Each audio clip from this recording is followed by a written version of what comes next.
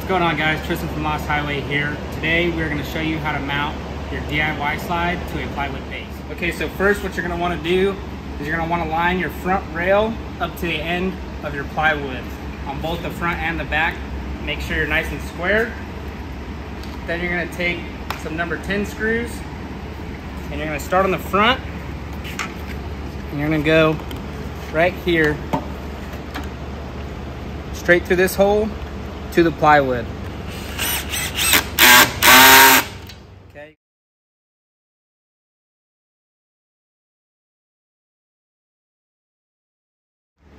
So next we're going to repeat the same steps for the opposite side.